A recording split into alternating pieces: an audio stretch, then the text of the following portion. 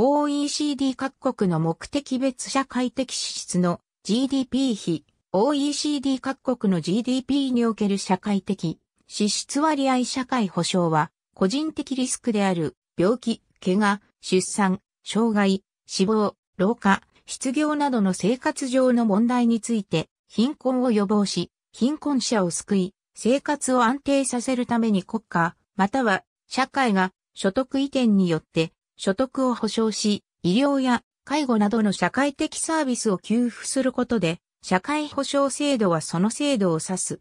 社会保障という言葉は、社会福祉と同義で使われることも多いが、公的には、社会福祉の他に、公衆衛生をも含む、より広い概念である。社会保障の目的は、多くの国で共通するが、言葉の意味するところは国によって異なる。例えば、イギリスでは、ソーシャルセキュリティは、経済的保障のみを指す。国際労働機関や欧州連合などでは、ソーシャルセキュリティに変えて、ソーシャルプロテクションという言葉も用い、経済協力開発機構の統計では、ソーシャルエクスペンディチャーの概念を採用するなど、国際比較や統計処理のために様々な分類を行っている。その財源については、一般税収を原資とする方式と、労使で保険料を拠出する方式に分かれる。後者については、社会保険制度とも呼ばれる。社会保障給付と税、保険料負担の大きさを比較し、北欧諸国は高福祉、高負担、アメリカは低福祉、低負担の代表例と言われている。制度財源は国によって様々であり、社会保障財政を政府一般会計から分離して運営する場合には社会保障基金と呼ばれる。原資を雇用者、または雇用主にて供出する場合は、社会保険制度、ビスマルク型と呼ばれる。ドイツ、フランスなどが該当する。それに対して、一般税収を原資として給付を行う方式をベバリッジ型と呼ぶ。スウェーデン、デンマークなどの北欧諸国や社会保険制度のないオーストラリア、ニュージーランドなどが該当する。社会保障の歴史は経済社会の動きと密接に関係しており、社会保障の仕組みは各国が長い歴史の中で相互に影響を与えながら積み重ねてきたものである。19世紀から20世紀にかけては各国で失業問題が最大の課題であり、その中から社会保障が進展してきた。また、本来、福祉とは正反対の戦争が契機となって社会保障の基礎がスタートした。21世紀の先進各国では、少子高齢化と財源確保が社会保障の大きな課題である。大航海時代は世界貿易を発展させ、商業の一大変革をもたらした。毛織物工場を刺激し、輸出を施行するエンクロージャーとなった。1601年、イギリスではこれまでの給品施策をまとめた家族による支援が得られない貧困者を救済する法を制定した。この給品法は、現在の公的扶助に至る原型となるが、当時社会保障という言葉は生まれていなかった。1834年に給品法の大改正が行われ、貧民処遇の一元化や中央集権化が図られた。新給品法では、貧困者は給品員に収容されて、そこで働かされることになった。給品の水準について、自立して働いている人のうちの最も貧しい人の生活水準以下で救済するという列島処遇の原則や院外救済の禁止、市民権の剥奪などが確立されていったが、その列島処遇の過酷さに社会的批判が高まるようになる。産業革命により資本主義が定着していくと、資本家から失業は個人の問題であり国による貧民救済は有害との主張がなされた。一方、工場労働者たちも防貧のために自分たちの賃金の一部を出し合って助け合う共済組合を作っていった。共済組合はイギリスでは友愛組合、ドイツでは疾病金庫などの名前で親しまれ、主に疾病と失業による雇用の中断の際の経済的保障を提供していた。これらは共済内メンバーの所得保障等に寄与したが、一方で、共済外の高齢者の貧困問題には対処できなかった。また、小規模の助け合いの仕組みでは、給付水準も限られ、不安定であった。1883年、ドイツで初めて疾病保険が制定された。1884年には労災保険、1889年には年金保険が制定された。このように社会保険制度を創設しつつ社会主義運動を弾圧する鉄血最小オットー・フォン・ビスマルクの政策は、飴とムチの政策と呼ばれる。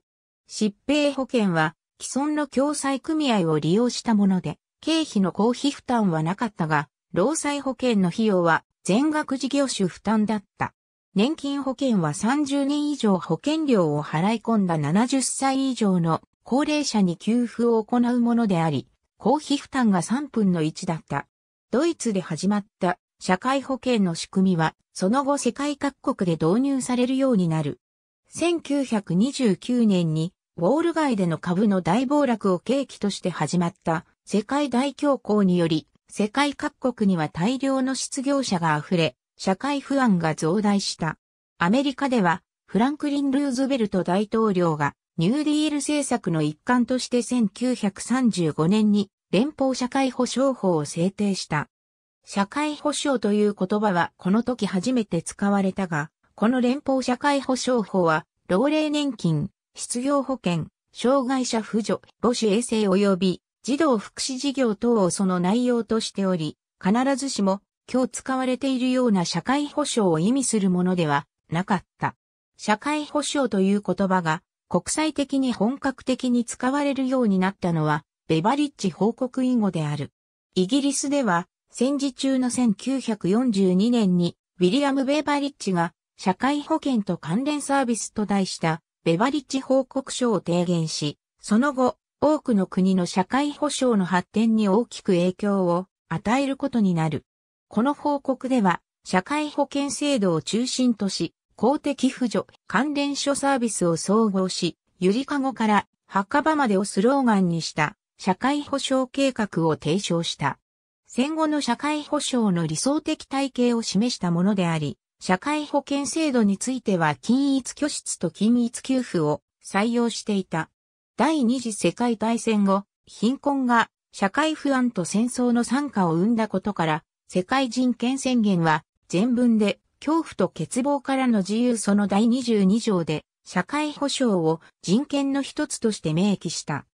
すべて人は社会の一員として社会保障を受ける権利を有し、かつ国家的努力及び国際的協力により、また各国の組織及び資源に応じて、自己の尊厳と自己の人格の自由な発展に欠くことのできない経済的、社会的及び文化的権利を実現する権利を有する。この項目は、1961年に採択された欧州社会憲章と1966年に採択された経済的、社会的及び文化的権利に関する国際規約により、基本的人権である社会権の一つとして法定拘束力を与えられた。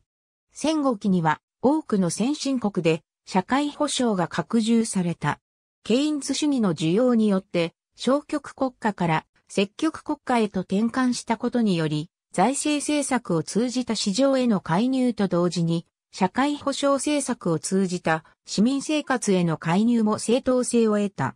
社会保障の対象となる受給者が膨大であれば、財政を大いに圧迫してしまうため、ケインズ主義政策による完全雇用の実現は、社会保障の質的向上の必要条件である。大量生産が実現して、資本主義がフォーディズム段階に至ると、労働者に単純労働を強いる代償として、社会保障の拡充が容認されうる。社会保障を通じた所得再分配は大量生産の受け皿である国内需要の拡大に寄与する。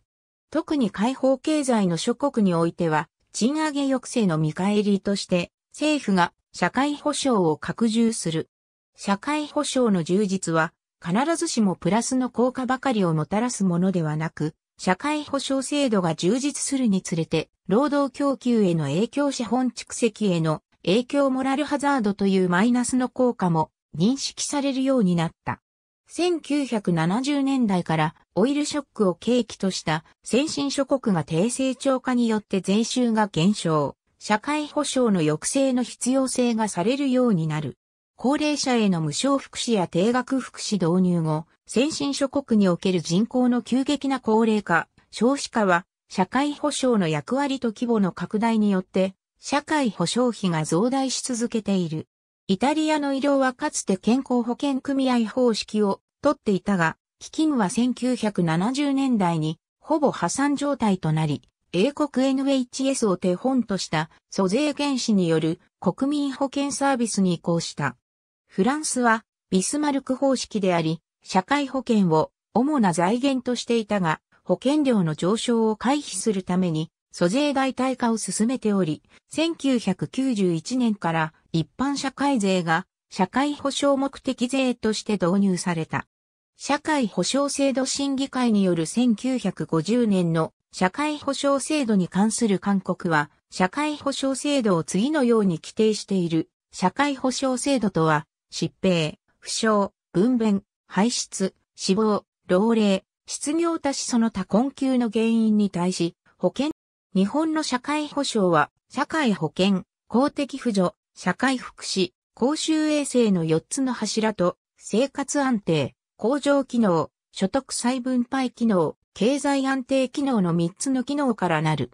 1961年に実現された国民皆保険、皆年金は、すべての国民が公的医療保険や年金による保障を受けられるようにする制度である。この国民皆保険、皆年金を中核として、雇用保険、社会福祉、生活保護、介護保険などの諸制度が組み合わさって、日本の社会保障制度は構築されてきた。社会保障給付費の対 GDP 比は、2018年度の21.5%から2025年度に21.7から21.8%となる。その後15年間で2.1から2.2%ポイント上昇し、2040年度には23.8から24.0%となる。社会保障負担の対 GDP 比は2018年度の20.8%から2025年度に21.5から21.6%となり、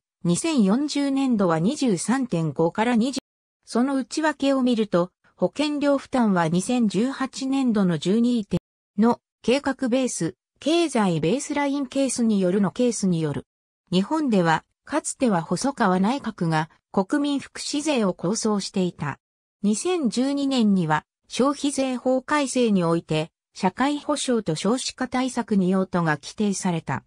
日本が社会保障による慢性的な財政赤字に陥る要因となったのは1969年12月21日に日本社会党と日本共産党左派団体の支援を受けて、東京都知事に当選した美濃部良吉が増税など支給に対する財源の負担を求めずに、高齢者の医療費負担の全額無償化を行ったことだった。これ以降、高齢者の医療費無償を求める左派ポピュリズム運動が起きて、左派組織の支援を受けた候補が当選が増加する。1973年1月1日に第33回衆議院議員総選挙での敗北と左派政党の増進への危機感から財源と財政から継続不可と反対のあったが内閣総理大臣田中角栄の主導で70歳以上の老人医療費の無料化が実施された。高齢者の無償のための医療費負担は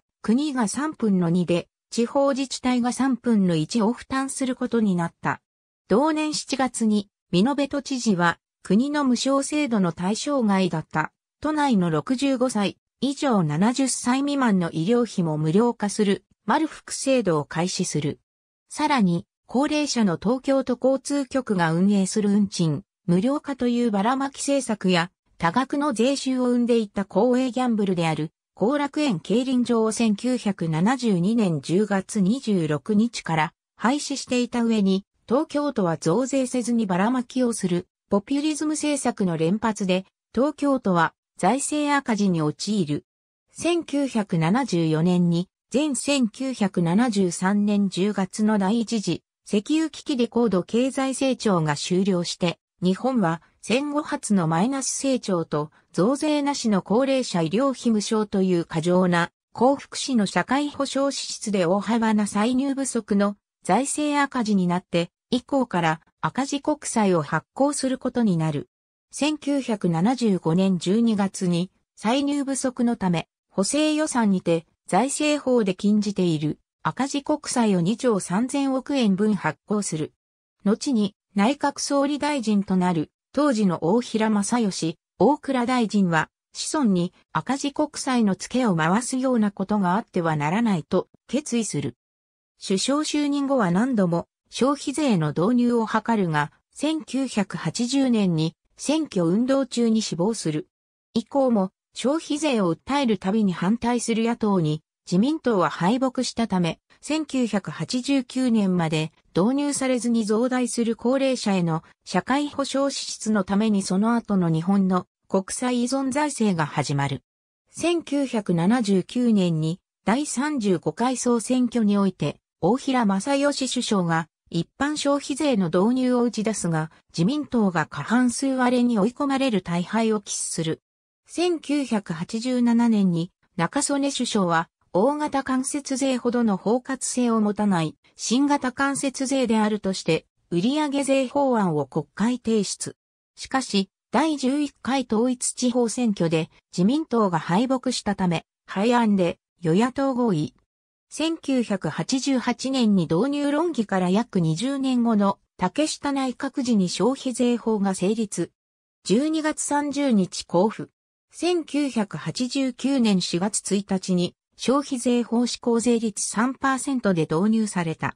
1994年2月、細川内閣にて、細川森弘首相が消費税を廃止し、税率7%の目的税、国民福祉税を導入する構想を発表するが、担当となる閣僚を含めた政権要人からも反対論が上がり、即日白紙撤回。11月25日に村山内閣で3年後の1997年に消費税等の増税のための税制改革関連法案を成立。1997年に村山富一首相が成立させた法案に基づき橋本内閣が実施した。2019年度の日本の社会保障費は、歳出の34.2%を占め、約33兆9914億円が支出されている。